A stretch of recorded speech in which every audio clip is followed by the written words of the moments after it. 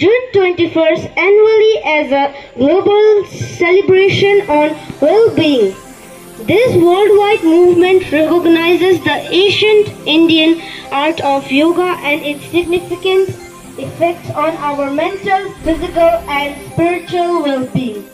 Cutting across cultural and geographic barriers, millions of people come together for yoga classes, workshops and talks in peaceful mountain retreats and busy cities, squares throughout the world, all driven by the desire for holistic health and peaceful thoughts. Notably, the 2024 International Yoga Day will be the 10th anniversary of the event. The International Yoga Day 2024 theme is Yoga for Self and Society. Emphasizes the double benefits of yoga practice.